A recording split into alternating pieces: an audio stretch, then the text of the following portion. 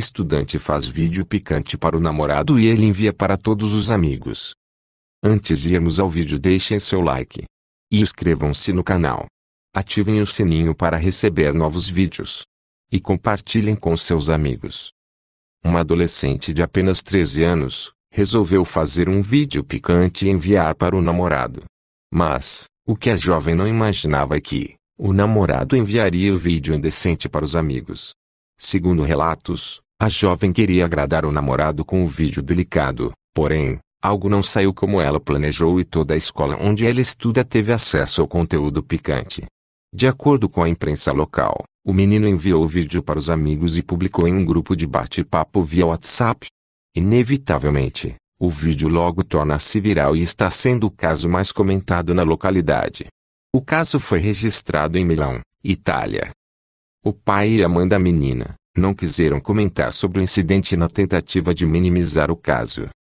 Segundo relatos, eles simplesmente se limitam a um confronto com os pais do menino sobre o incidente. O retorno do vídeo e punição exemplar. No entanto, o vídeo do escândalo, que parece ter desaparecido para sempre, de repente reaparece no mesmo chat de classe em que o protagonista está estudando. A vítima ficou em desesperada ao ficar sabendo das imagens. A escola abriu uma investigação interna e 12 estudantes, todos os 14 anos, foram suspensos das aulas por 10 dias. Um professor, que ensina no ensino médio desde 2000, diz que a sentença imposta aos alunos é a mais severa de 20 anos. Além da suspensão, os estudantes do ensino médio devem fazer algum trabalho útil. Eles cuidarão da limpeza do pátio, das salas de aula e da biblioteca. O diretor também convenceu o pai e a mãe da vítima a apresentarem uma queixa e um possível processo criminal. Vingança pornô. O fenômeno em que a garota de Milão foi vítima é chamado de revenge porn em tradução livre vingança pornô. Este é o compartilhamento público de fotos ou vídeos, pessoais e íntimos que foram enviados por sexting. Perder o controle de suas imagens, no entanto, é mais fácil do que você pensa.